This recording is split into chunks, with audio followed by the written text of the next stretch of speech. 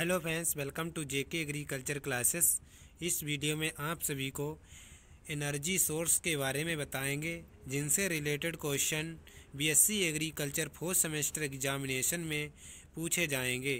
चलिए ना वेट करते हुए वीडियो को स्टार्ट करते हैं। इससे पहले आप सभी को बता दें कि इसी प्रकार के वीडियो देखने के लिए जेके एग्रीकल्चर यूट्यूब चैनल को सब्सक्राइब करें एंड वेल आइकन को प्रेस करें ताकि आने वाली वीडियो की नोटिफिकेशन मिल सके। तो इसमें फ़र्स्ट टॉपिक देखते हैं कि एनर्जी के रिसोर्सेज हैं। इसमें बायोमास प्राप्त करने के लिए पशुपालन, कृषि, अपशिष्ट और पवन ऊर्जा, सौर ऊर्जा आदि का उपयोग किया जाता है। सौर ऊर्जा के स्रोत हैं पवन ऊर्जा, सौर ऊर्जा, नाभिकीय ऊर्जा और प्राकृतिक ऊर्जा, जिसमें प्राकृतिक गैस आती है। एंड अगला पॉइंट देख सकते हैं। किसी कार्य को करने की क्षमता ऊर्जा कहलाती है, एनर्जी कहलाती है।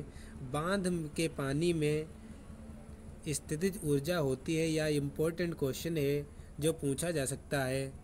ऊर्जा के प्रकार ऊर्जा मुख्यतः पाँच प्रकार की होती है, जिसमें नंबर एक मैकेनिकल एनर्जी यानी कि यांत्रिक ऊर्जा या दो प्रकार की होती है, स्थितिज ऊर्जा एंड गतिज ऊर्जा।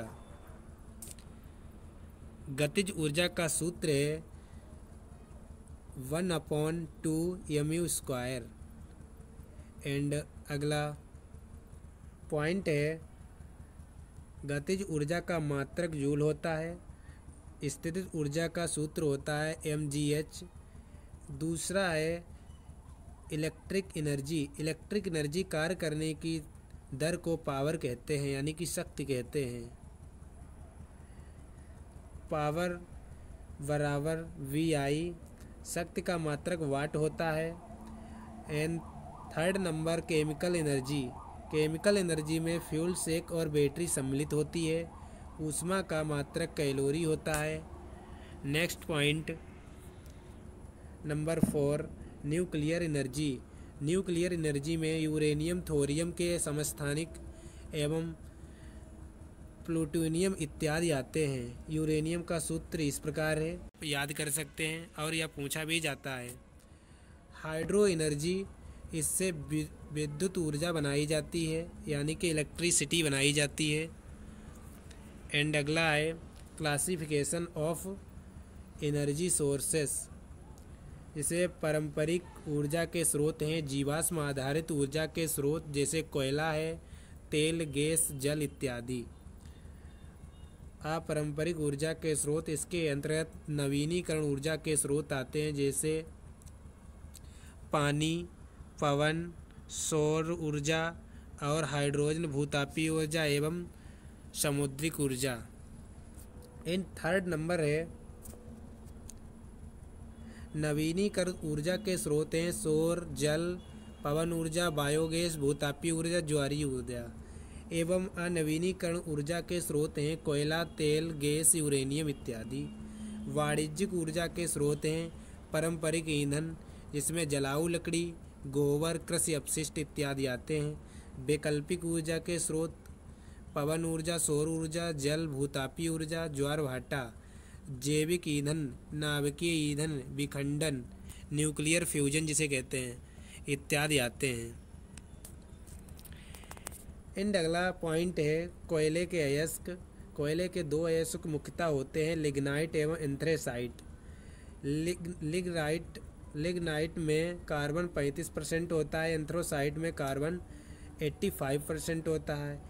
बिटुमिन में कार्बन 45 से पचासी प्रतिशत होता है। एंड अगला है, कोयले में 75 प्रतिशत यूज़, यानी कि कोयले का यूज़ 75 प्रतिशत विद्युत उत्पादन में इलेक्ट्रिसिटी जनरेटर में किया जाता है।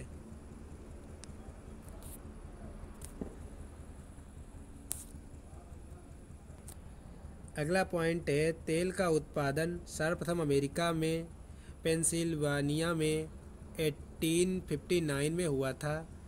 तेल भंडारों में सऊदी अरब, कनाडा, ईरान और इराक अग्रणी देश हैं।